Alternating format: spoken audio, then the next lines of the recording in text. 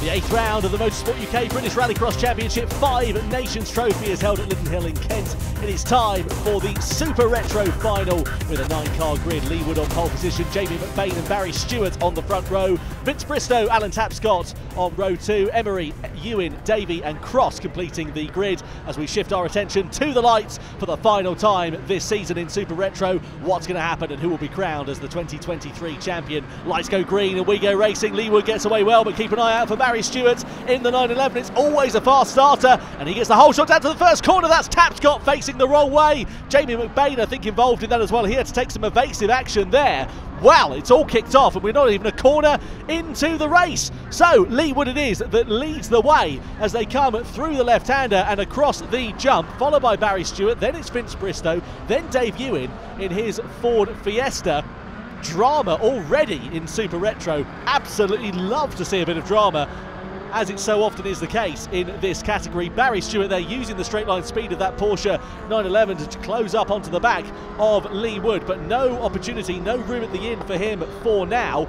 Lee Wood is the championship elect in this category. He could be crowned as the Super Retro champion here this afternoon as he makes his way through the final corner of paddock and across the timing line. Barry Stewart, though, is keeping him very honest indeed. No joker laps, of course, in the retro or indeed in the super retro categories, as Vince Bristow gets it all high and sideways up through Talladega in his BMW E36.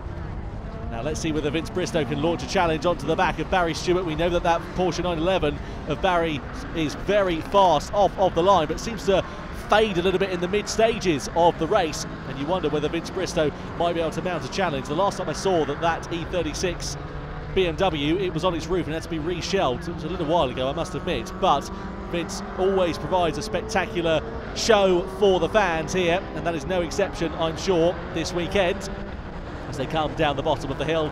Lee Wood in first place, Barry Stewart in second, then it's Vince Bristow quite a pronounced gap as he gets it sideways over the jump. Dave Ewan in fourth position as it sits for now. This is nice and exciting as we're used to seeing. I wonder what Alan Tapscott's going to be able to do as he was facing the wrong way. It's an early end though to the race for Jamie McBain in the Peugeot 205. That's a huge shame for him because he's going to be selling that car at the end of this year as we're side by side here for second position. Vince Bristow just has to back out of it as they come through the left-handed kink and over the jump. There's a really nasty bump there on the inside, and if you're two by two, it can often send you a little bit wider than you're expecting. And if you've got a car and you're outside, that can prove to be very detrimental indeed. Vince Bristow there with a lot of traction, though, a lot of drive through the left-hander, but Barry Stewart with an even greater amount of it as he closes up onto the back of the race leader.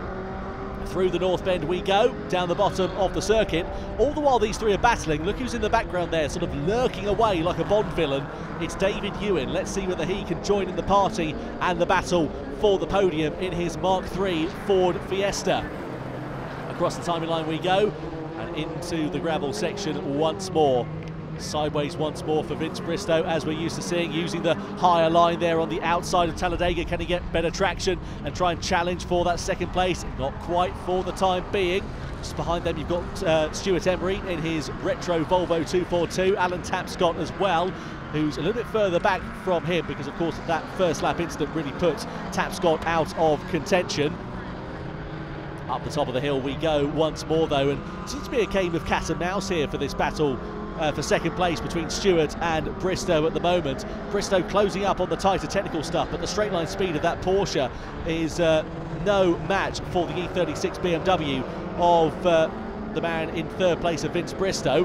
Tapscott, meanwhile, we just saw has closed right up onto the back of Stuart Emery for fifth position as we begin the final lap. At the moment, it will be Lee Wood who will be crowned as the 2023 Super Retro champion in his Mark II Ford Escort. Here he is taking that wide, sweeping line through Talladega, or Chessons as it used to be known. Over the jump we go, nice and calm and controlled. Stewart there still holding firm in second place over Vince Bristow, who has his wipers going to try and clear some of the dust and the rocks that are being kicked up on his BMW's windscreen. But there's just no way for him to get up into second position. The straight line speed, especially up the hill, is proving to be very much a saving grace for Barry Stewart in the Porsche 911. But just one more corner then left for Lee Wood as he comes around it now in the round eight final for the Super Retros to be crowned as the 2023 Super Retro champion here at Lydden Hill. It is Lee Wood who is on top of the world, ahead of Barry Stewart and Vince Bristow in second and third place.